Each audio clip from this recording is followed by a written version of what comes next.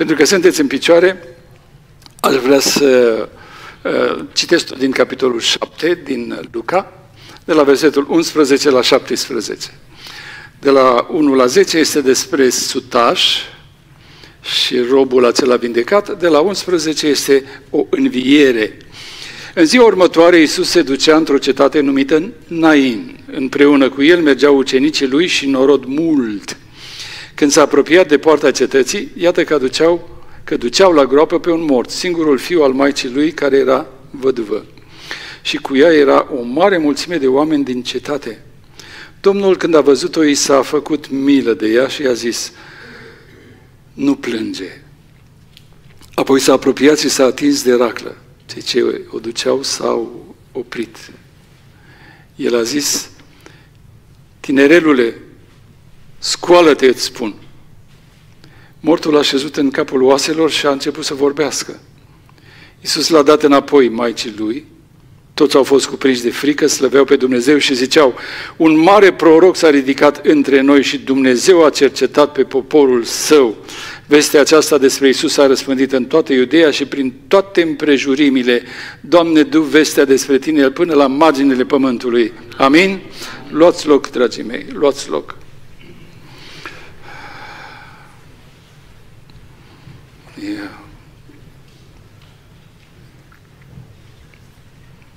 Allen a fost omul prin care Dumnezeu mi-a făcut mie chemarea spre seminar.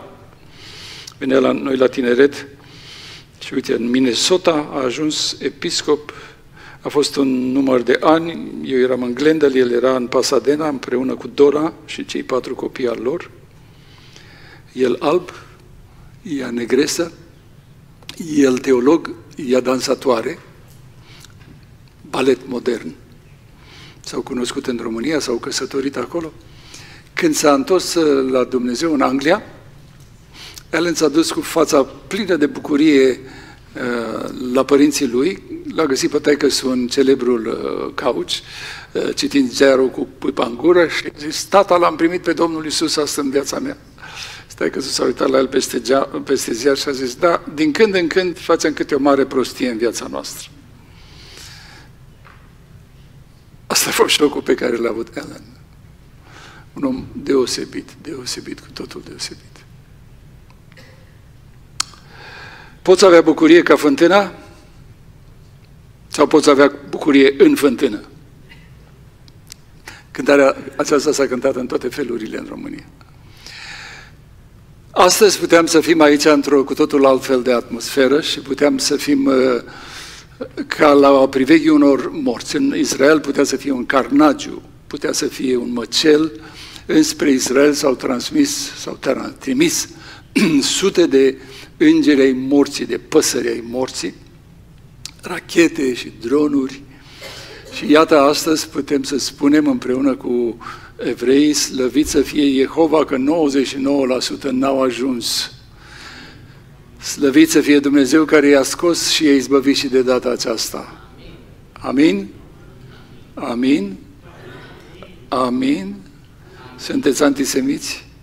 Nu vă bucurați cu evreii? Tu da, dar nu toată lumea, Narcis. tu da, dar nu toată. Trăim vremuri interesante. Trăim vremuri interesante în care foarte multe lucruri se pot schimba peste noapte. Există însă lucruri care nu se vor schimba cât va ține lumea aceasta. Și unul din lucrurile pe care le știm că nu se vor schimba este că Domnul Isus a făcut public programul împărăției lui în predica, celebra predică de pe munte. Luca 7 urmează după celelalte capitole care sunt un rezumat al predicii de pe munte redată mai în amănunt de Matei. Ma, Luca este doctor, medic. El se apropie de minunile Domnului Isus uh, ca un om care este de specialitate. Dar dincolo de asta, Luca este un om care îl iubește pe Domnul Isus și vrea să vestească evreilor și până la capătul lumii, pentru că el scrie pentru neamuri, oferta pe care o face Dumnezeu prin Isus Hristos. După ce publică uh, proiectul Platforma Împărăției Lui, Domnul Isus lansează o chemare care a rămas până astăzi, care reverberează până la marginile pământului. Eu încep, dumneavoastră, o continuați. Veniți la mine voi toți și împăvărați. Capitolul acesta, care este capitolul 7, din care am avut un fragment, este capitolul care ex, ex, exemplifică, uh, ilustrează în strategia lui Luca, care scrie această Evanghelie, cine poate veni la Domnul Isus? Veniți la mine toți. Dar cine? Chiar așa, în orice stare și cu uh, problemele noastre extreme, și uh, Luca ne dă capitolul 7, care este o inventariere a 1, 2, 3, 4 cazuri de oameni care au venit la Domnul Isus. Uitați-vă în Biblie, dacă vreți cu mine, Luca, capitolul 7, de la versetul 1 la versetul 10, a venit trimeși unui sutaș. Uh, de la versetul 11 la versetul 17 a venit la Domnul Isus tristețea unui convoi funerar și problema unei văduve care împotriva ordinii naturale își ducea la groapă fiul. Toate situațiile acestea, veți vedea, sunt situații paradoxale. Duhul Sfânt îl influențează pe Luca să le pună într-un mediu foarte paradoxal. Nu te așteptai. Nu te așteptai ca un sutaș să vină la Domnul Isus. No way! No way un sutaș roman să vină la Domnul Isus. Și Luca o pune ca un paradox. Da, așa s-a întâmplat. Pe urmă este această văduvă din Nain, care vine și nu vine, trece pe lângă el și este și aici un paradox, așa cum o să vă arăt imediat, după care de la versetul 18 este un alt paradox. Nu te așteptai, nu te, te așteptai de la oricine, domnule, dar nu de la el, nu de la el, come on, nu el. E verișorul lui Isus Hristos. Mamele lor s-au cunoscut înainte ca ei să se nască. Uh, l-au binecuvântat înainte când era în pântece. Și acum omul acesta să se îndoiască de Isus Hristos că e Mesia. Nu se poate așa ceva, e un paradox, nu se poate, nu se poate. Hai să se îndoiască alții, Toma să se îndoiască. Dar Ioan care l-a băgat în apa botezului, Ioan care a văzut cerurile deschise și a auzit Nu mulți au auzit glasul lui Dumnezeu pe pământ așa public. Acesta este Fiul meu, iubit, în care îmi găsesc toată plăcerea. Și a văzut Duhul Sfânt coborându-se asupra lui în chip de porumbel. Cum poate un astfel de om să se îndoiască, Domnule? E un paradox, e al treilea paradox din capitolul 7 și al patrulea paradox este femeia păcătoasă. Cine poate să înțeleagă mesajul Domnului Isus? Farisei care aveau școală, care aveau teologie, mai mari religioși ai poporului sau o femeie care e prăbușită sub păcate. Cine, spune Iuga, cine credeți că a avut percepția asta spirituală? Paradoxal, ei au fost orbi și ea paradoxal. Paradoxal. Aceasta este capitolul lui Luca și pentru că cei de la școala duminicală ni l-au dat astăzi, am zis, hai să nu trecem așa de ușor peste această capodoperă de autor, Luca scrie ceva teribil de frumos. Primul paradox este cel pe care l-am uh, studiat la școala duminicală. Domnul Iisus i s-a dus vestea că face lucrări deosebite și că poate să vindece. Săptămâna aceasta am fost împreună cu alte două persoane, că am fost de două ori, uh, la un om uh, în vârstă, care ne-a dat la fiecare câte o carte despre un tratament împotriva cancerului, tot felul de cancere tumorale, eh, care a apărut la Loma Linda. El însuși s-a dus și a fost acolo uh, pacient și procentul de reușită împotriva cancerelor, indiferent că l-ai aici, că l-ai acolo, sau că l-ai dincolo, sau că l-ai dincolo, la secția aceasta de uh, tratamente de cancere de la Loma Linda, de la Biserica Adventistă, este de 99 something la sută. e bombardament cu plutonium, nici nu... Dar mi-a dat o carte și ne-a dat la fiecare câte o carte. Și a zis, da, la toată lumea câte o carte. Dacă mie mi-au făcut bine, le-am luat toate cărțile care le aveau acolo despre tratament, despre toate astea, mărturile altora, dați-le și dumneavoastră la toți. Era un om care a beneficiat de vindecare și vrea să o dea tuturor. Era entuziasmat și era entuziasmat să le facă clienți la doctorii aceia care merită. Uh, fiind un om uh, nu neapărat credincios ca noi, m-am bucurat de ce ne-a spus. Și a spus, știa că eu sunt pastor, bineînțeles, și că suntem amândoi creștini, și a zis, am învățat ceva de la adventiștii ăștia de la Lumalinda. Eram curios ce am învățat eu de la Lumalinda. Și a zis, știi că am stat acolo două săptămâni și am avut program așa cu Terezeci la ora 6, faci gimnastică, mănânci ce-ți dau ei, numai ce-ți dau ei și așa și așa și pe faci aia și pe faci aia și pe faci aia. Și am venit de acolo cu o concluzie, că trebuie să ne schimbăm nu numai ce mâncăm, dar trebuie să ne schimbăm, eu cel puțin să-mi schimb modul în care văd lumea și să-mi dau seama că singurele lucruri importante sunt Dumnezeu eternitatea și sufletul meu. Bă, băiete, am zis, nici nu mai trebuie să predic nimic la omul ăsta. Uh, el n-avea nicio legătură cu, cu, cu noi, cu biserica. Și au reușit în timpul record când a stat acolo să-i schimbe prioritățile și să spună trebuie să fiu mai liniștit, trebuie să nu le mai pun pe toate la inimă, trebuie să-mi dau seama că toate sunt trecătoare și că singurele lucruri care rămân sunt Dumnezeu eternitatea și sufletul meu și trebuie să am grijă de ele. Mai mult decât am nevoie de, de trup, am nevoie să mă îngrijesc sufletul și să-mi schimb viața cât voi trăi pe acest pământ. Ce spuneți dumneavoastră la omul ăsta? Amin! Dumnezeu a trimis unui predicator un predicator mai bun. El a zis în câteva cuvinte ceea ce eu nu știam pe un să iau și pe un să încerc și mai departe și mai departe. Aceasta pentru că el însuși a fost beneficiarul unui tratament care l-a întors de la moarte. Și când te întoarce de la moarte, uh, altfel este sufletul tău. E reavăn, proaspăt, e cald, uh, are nevoie de teologie, are nevoie de viață, de viață. Domnul Iisus îi se dusese vestea și sutașul a aflat că este un om care vindecă. Așa zicem noi. Însă el a aflat și a privit mult mai mult și mult mai adânc.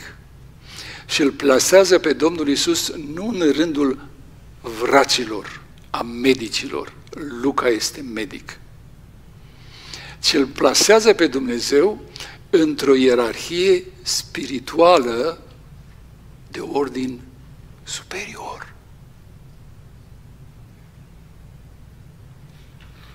Acesta e paradoxul. Vindecarea e secundară. Luca spune paradoxal este că omul acesta l-a plasat în mintea lui pe Iisus Hristos într-o ierarhie nevăzută de ordin spiritual.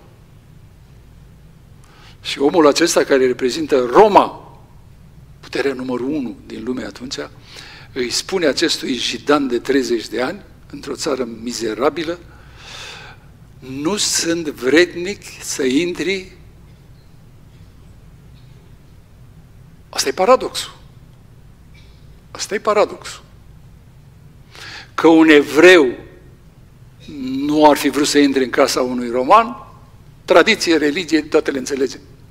Dar un roman care își însoțește, îl primește punctul acesta de vedere, și îl plasează pe Domnul Isus într-o ierarhie de puteri de ordin spiritual și îi spune, nici nu ar trebui să vii, că eu știu cum e chestia asta cu autoritatea. Eu sunt sutaș, spun, pac, s-a făcut. Pentru tine e suficient să spui și îl plasează într-o ierarhie superioară, nevăzută, de ordin spiritual, care are ultimul cuvânt în ceea ce privește viața și moartea, sănătatea și boala. Și Domnul Iisus se uită la el, se uită la cei trimiși de el, se uită la ucenici și zice, băi băieți, o astfel de credință n-am întâlnit nici măcar în Israel. Un om care a văzut în nevăzut, un om care a pătruns dincolo de lumea aceasta materială, un om care și-a dat seama că Isus Hristos face parte El însuși dintr-o oaste, dintr-o ierarhie, dintr-o împărăție în care are o extraordinar de mare autoritate. Și față de împărăția aia, el nu este vrednic, chiar dacă el reprezintă Roma, chiar dacă reprezintă armata romană. Nu e vrednic. Nu e, vrednic. e un paradox. Și cei înalți pot să vină la Domnul Isus dacă își dau seama că Domnul Isus este și mai înalt. Și mai înalt, spune Luca. Cine poate să vină la Domnul Isus? Pot să vină cei care simpatizează cu problemele altora. Îi primește cu prioritate și cu bucurie. Cei care fac din problemele altora problemele lor sunt ființe de ordin superior. Sutașul n-a venit pentru că era el bolnav, ci pentru că îi păsa de un altul care era de rang inferior, dar pe care îl iubea. Și Domnul l-a iubit din cauza asta. A zis, wow, ce caracter frumos! Ce caracter frumos! Dar aceasta am studiat-o la școala duminicală și uh, subiectul acesta deja este epuizat probabil. Dați-mi voie să vă citesc un alt paradox în care un om al durerii și obișnuit cu suferința se întâlnește cu o altă ființă care este în suferință. Doi oameni care în domeniul suferinței uh, se simpatizează unul pe celălalt, Domnul Isus și văduva. Și în același timp e un alt paradox aici, se întâlnește viața cu moartea. Ce părere aveți? Cine biruiește? Extraordinar, cum le pune, cum le pune Luca. În ziua următoare, Iisus se ducea într-o cetate numită Nain. Împreună cu el mergeau ucenicii lui și mult norod. Când s-a apropiat de poarta cetății, iată că duceau la groapă pe un mort singurul fiu al maicii lui, care era văduvă și cu ea era o mulțime de oameni din cetate. Două mulțimi de oameni s-au întâlnit acolo la poarta cetății. Unii ieșeau, alții intrau. Ce căuta Domnul Iisus în Naim, nu știm, dar probabil în planul lui Dumnezeu trebuia să ajungă acolo, atunci din cauza acestei femei. Domnul când a văzut-o, i s-a făcut milă de ea și i-a zis, nu plânge. După care a făcut un lucru pe care evreii nu-l făceau, n-aveau voie să-l facă și dacă era rabin cu atât mai pu- puțin. Apoi s-a apropiat și s-a atins de raclă, ceea ce era un nou, nou, nou, nou. Cine se atingea de ceva mort devenea necurat, da? În afară de familie, nimeni nu se atingeau de mort. Și cei care se atingeau erau necurați până seara și așa mai departe. Și Domnul Iisus îi spune la femeia aceasta, nu plânge. El este un om al durerii și obișnuit cu suferința. Și vede o femeie care plânge și se întâlnesc doi oameni în domeniul acesta dureros al suferinței. Și lui îi pasă de ea. Și îi pasă de ea mai mult de tânărul care a murit. Este un tânăr care a murit, noi spunem, prema, prematur. În ordinea lucrurilor, femeia aceasta trăgea nădejde să trăiască mult și cine să o îngroape? Fisul. Asta era normal. Și când e o femeie văduvă și are un singur copil în societatea de atunci, o femeie singură nu avea voie să meargă pe, pe străzile cetății, nu avea voie la viața publică. De aia accentuează că e văduvă. Uh, femeia aceasta își plânge viitorul. Își plânge copilul, dar și își plânge drumul ei în viață. De acum încolo va fi un fel de umbră. Umbră care se va prelinge prin localitatea Nainului, să nu vadă nimeni că nu are voie să meargă singură. O femeie nu are voie să meargă singură decât dacă este prostituată. Trebuie să o ducă un, un unchi, o rudă um, și așa mormintează toate speranțele ei de viitor. Și Domnul Iisus o vede și nu rezistă. Nu rezistă. Pentru că un om care suferă se întâlnește cu un alt om care suferă. Veneam din Rusia, de unde am fost cu Petrica la Scău, Și el și eu am scris un uh, jurnal zilnic de activitate. Și eram în avion și atunci am scris concluzia mea, reacția mea, în urma întâlnirii cu poporul acesta rus. Veneam ca american, veneam ca român. Și atunci am scris așa o frază. Privit printr-o lacrimă, un om care plânge este întotdeauna fratele tău. O altă variantă a unui alt proverb care spune sătulul nu crede celui flământ. Dar dacă ai o lacrimă pe ochiul tău, pe fața ta, pe obrazul tău, și îl vezi pe altul care plânge, e dintr-o dată fratele tău. Îl înțelegi. Ești acolo cu el. Ia. Și Domnul Iisus înțelege dimensiunile tragediei acestei femei. Cine se poate apropia de Domnul Isus? Iată, cine se poate apropia? O femeie care și-a pierdut viitorul și era condamnată la o viață foarte tristă. Și îi spune, nu plânge. Nu plânge. Tinerelule, scoală-te-ți spun. Mortul a șezut în capul oaselor și a început să vorbească. Iisus l-a dat înapoi Maicii lui.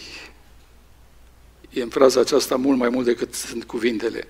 La femeia aceasta i-a dat înapoi viața. I-a dat viața ei. Sigur că așa aparent i-a dat viața lui, dar viața lui a însemnat, i-a dăruit înapoi unei văduve condamnată la singurătate, i-a dăruit viața ei, a reparat ce trebuia să repare.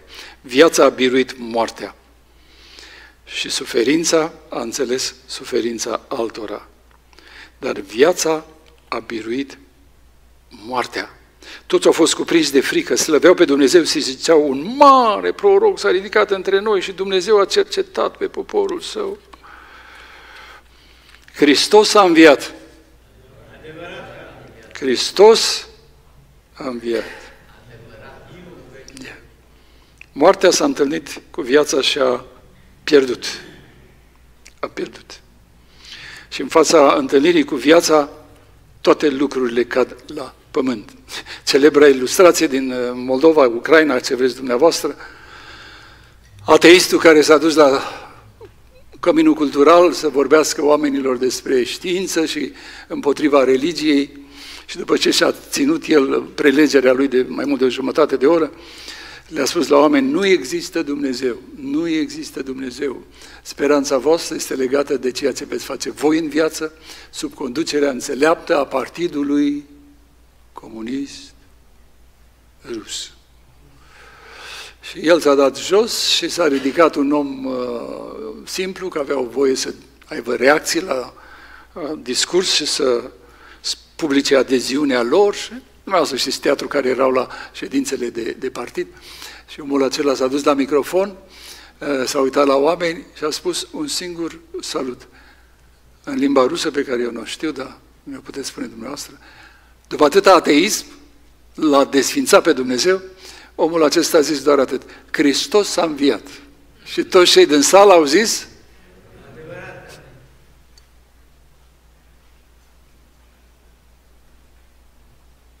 Slăvit să fie Dumnezeu că a luat vălul morții de pe ochii noștri și nu ne mai temem de moarte. El este învierea și viața. Îl puteți vedea pe Emil uh, cu microfonul sprijinit de peretele bisericii de acolo, de unde este școrul bărbătesc acum, un om care le vorbește fără să plângă și fără păreri de rău.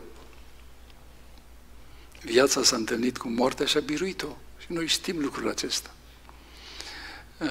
V-am mai spus și spun numai pentru bucuria de a avea înregistrație pe e, predica aceasta. Când am vorbit cu el, m-a văzut că sunt așa parcă trist în glas de mila lui. Și Emil e Emil. Ne cunoaștem de când eram adolescenți. mi-a spus, ce bă, tu crezi că tu mori, nu mai omor? La început am zis, parcă îmi face am văzut că îl compătimez pe el și n-a suportat ideea că eu sunt mai bine ca el. Și m-a băgat și pe mine sub el, imediat sub apă. Ce bă, tu nu mori? Toți murim. Toți o să murim. Toți care știi tu o să moară, băi. Nu e o tragedie. Pentru noi este o plecare dintr-un loc în altul.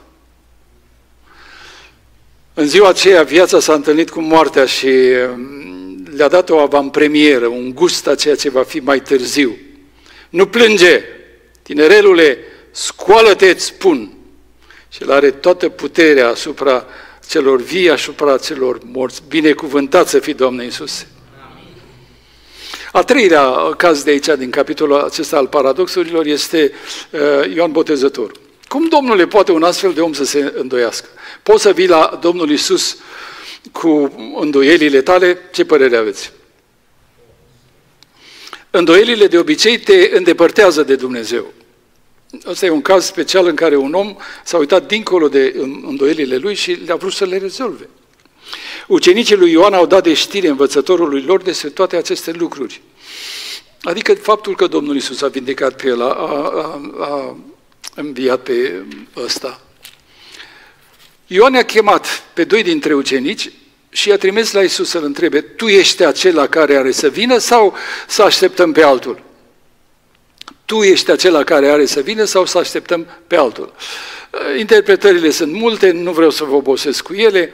Există comentatori care spun că Ioan, crezând în Isus Hristos, fără să se îndoiască, fără să se îndoiască, și-a dat seama că ucenicii lui nu au viitor alături de el, că el o să moară și ăștia rămâne ai cui, în aer, așa, așa. A preferat să-i trimeată de acum la Isus, pentru că de acum încolo să fie cu el, să se convingă și ei de ceea ce este el și să-l lase pe el să moară liniștit. Tu ești acela care are să vină sau să așteptăm pe altul? Spun unii comentatori că i-a trimis pentru ucenici. Nu așa scrie la Biblie.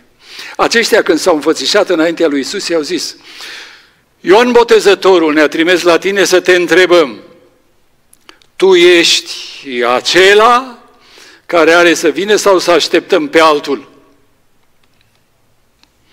Chiar în clipa aceea Iisus a vindecat pe mulți de boli, de chinuri, de duhuri rele și multor orbi le-a dat vederea.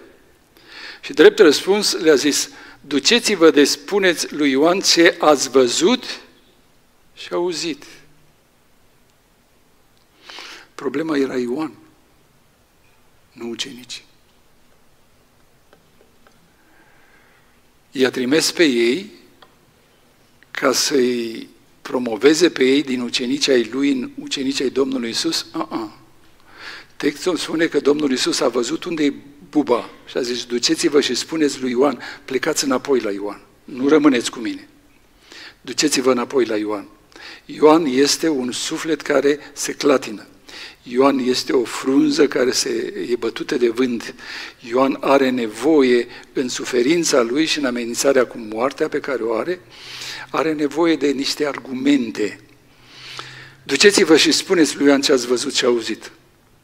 Ferice de acela pentru care nu voi fi un prilej de poticnire. Asigur că de aici se poate predica mult și întrebarea pe care aș vrea să vă pun fiecăruia este dumneavoastră ați trecut prin clipe de îndoială? L-ați primit pe Domnul Iisus poate din familie, educație, poate l-ați primit la o biserică sau cine știe în altă parte, dar ați avut clipe de îndoială? Nu există credință fără îndoială. Nu există. Și asta nu numai datorită neputințelor noastre, ci datorită atacurile celui rău. Dacă ești tu Fiul lui Dumnezeu, dacă de la Iisus Hristos a venit obraznicul ăsta, nu o să vină la mine și la tine? Și paradoxul este că omul de la care așteptai să nu se teamă și să nu se îndoiască, se îndoiește. Luca o pune așa de frumos. Cel mai îndreptățit să nu se îndoiască, se îndoiește. Și așa este toată istoria. Nu există niciun om care să nu aibă clipe de îndoială. Este îndoiala ceva care te descalifică?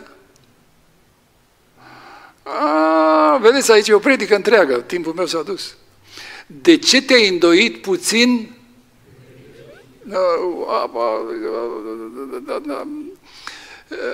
îl descalifică și Domnul Iisus știe care este opinia populară a unuia asupra unuia care se îndoiește.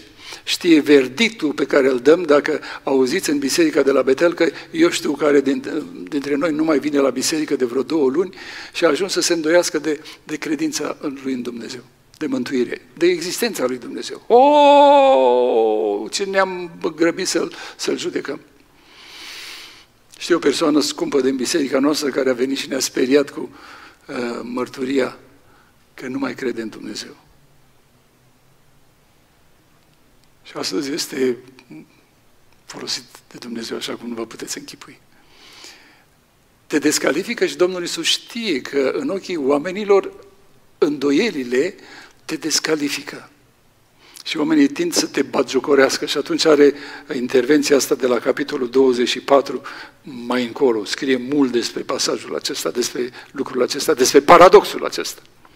După ce au plecat trimeșii lui Ioan, Iisus a început să spună noroadelor despre Ioan. Ce ați ieșit să vedeți în pustie? O trestie clătinată de vânt? ce normal pentru trestie? Ce vă așteptați de la o trestie? Spune Domnul Isus. Ce-i de mirare în faptul că un om se îndoiește? E o trestie. Sunteți ispitiți să spuneți, eu sunt stejar și el e trestie. Adevărat vă spun că această îndoială nu îl descalifică niciun fel pe Ioan. Și Domnul Isus are un discurs aici care uh, le ia auzul. Atunci ce ați vedit, de, ieșit să vedeți? Un om îmbrăcat în haine moi, iată că cei ce poartă haine moi și cei ce trăiesc în desfătări sunt în casele împărătești. Atunci ce ați ieșit să vedeți? Un proroc? Și acum vi se pare că nu mai e proroc? Da, vă spun, mai mult decât un proroc. El este acela despre care este scris, iată, trimit pe solul meu înaintea feței tale, care îți va pregăti calea înaintea ta. Vă spun că dintre cei născuți din femei nu este niciunul mai, mai despre unul care se îndoiește. Îndoiala nu te scade în ochii lui Dumnezeu. Dumnezeu zice, vină înapoi și consideră faptele. Bazează-te pe cuvântul lui Dumnezeu. Știi profeția cu orbii, văd, chiopii, așa? Duceți-vă și spuneți să vedeți. Tratați-l cu cuvântul lui Dumnezeu și cu realitatea. Cu cuvântul lui Dumnezeu și cu realitatea. Nu îmi rămâne timp, dar este mai frumoasă decât toate celelalte, femeia păcătoasă. Un fariseu a rugat pe Iisus să mănânce la el. Iisus a intrat în casa fariseului și a săjut la masă. Și iată că o femeie păcătoasă din cetate aflată că era la masă în casa fariseului. A adus un vas de alabastru cu mir mirositor și stătea înapoi lângă picioarele lui Iisus și plângea. Niciun rabin nu vorbea cu o femeie, era interzis pentru un rabin să vorbească cu o femeie.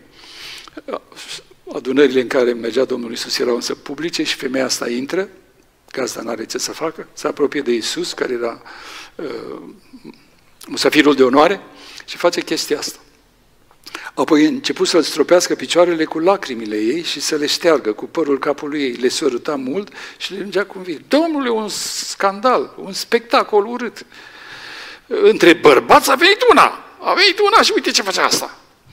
Când a văzut lucrul acesta, fariseul care îl poftise și a zis, omul acesta, dacă ar fi un proroc, ar ști cine fel de femeie este cea care se atinge de el, este o păcătoasă. Iisus a luat cuvântul și a zis, Simone, am să-ți spun ceva. Spune, învățătorule. I-a răspuns el, dar se îndoia foarte mult în inima lui că ăsta este învățător. Un cămătar avea doi datornici, unul era dator 500 de lei, iar celălalt cu 50. Fiindcă nu aveau cu ce plăti, i-a iertat pe amândoi. Spunem, dar care din ei îl va iubi mai mult? Extraordinară logică aplicată de Domnul Isus la situația păcătoșilor vis-a-vis de El. Toți suntem păcătoși, mai mici sau mai mari, mai mici sau mai mari, da? Toți suntem păcătoși. Simon i-a răspuns, socotesc că acela căruia i-a iertat mai mult. Iisus i-a zis, drept ai judecat. Într-o lume de păcătoși, femeia asta este cea mai iertată dintre toți voi. Apoi s-a întors spre femeie și a zis lui Simon, vezi tu pe femeia aceasta, am intrat în casa ta și nu mi-ai dat apă pentru spălat picioarele, dar ea mi-a stropit picioarele cu lacrimile ei. Mare diferență. Și mi le așters cu părul capului ei. Tu nu mi-ai dat sărutare. Și el a văzut asta. Dar ea, de când am intrat, n-a încetat să-mi sărute picioarele. Capul nu mi l-ai uns cu un de lemn, dar ea mi-a uns picioarele cu mir. Paradox. Vedeți cum le răstoarnă Luca. Le răstoarnă Luca și le așează toate ca niște paradoxuri. Nu te așteptai, Domnule. Nu te așteptai și uite cum a fost. De aceea îți spun, păcatele ei, care sunt multe, și iarăși o, o răsturnare de logică. Cui, cine va iubi mai mult? Celui care i-a iertat mai mult sau celui care i-a... Și Domnul Iisus ia și o răstoarnă și spune Păcatele ei care sunt multe sunt iertate, că ți-a iubit mult. Păi era vorba că dacă e iertat, iubește. Nu, nu, nu, ea a iubit și din cauza aceasta este iertat. Răsturna. Luca e, e grozav. Dar cu ei se iartă puțin, iubește puțin. Și despre cine vorbea cu ei se iartă puțin? Tu! Tu! Tu nu mă iubești. Apoi a zis femeii, iertate sunt păcatele. Cei ce ședeau cu el la masă au început să zică între ei, cine este acela de iartă chiar și păcatele. Dar Isus a zis femeii, credința ta te-a mântuit, du-te în pace. Uh, un sutaș cu un rob, un tinerel al unei văduve, un profet, un proroc care se clatină și o femeie păcătoasă. Care este minunea cea mai mare din cele cinci? Help me! Care este minunea cea mai mare din cele cinci? Uh, vindecarea robului, vindecarea copilului, tinerelului, uh, întărirea lui Ioan sau uh, iertarea păcatelor la femeia aceasta? Care este minunea cea mai mare? Amin. Amin. Singura cu consecințe eterne. Ăla s-a vindecat și putea să mai aibă altă boală. Tinerelul l-a dus la viață și până la urmă iar a murit. Ioan s-a îndoit și s-a dispărut din istorie. Femeia aceasta a intuit, dincolo de teologia religiei lor, că acolo este unul care poate să ierte păcatele și asta să țină neprihănirea în eternitate. În eternitate. Vei înțelege și tu lucrul acesta? Între toate, cea mai mare. O păcătoasă care și-a dat seama de esența lucrării Domnului Isus. Că El n-a venit să vindece, n-a venit să învieze pe nimeni. El a venit să mântuie. Și tu și cu mine suntem în poziția aceasta, binecuvântat să fie Dumnezeu și pentru că ne-a iertat mult, cât îl iubim? Cât de mult? El ne-a iubit pe cruce și a zis, a, cam atâta vă iubesc. Nu? Ca să ne ridicăm și să-i spunem, te iubesc, Doamne. Nu pot uh, fizic să-ți șterg picioarele cu părul meu și să ți le ud cu lacrimile mele, dar o fac în suflet.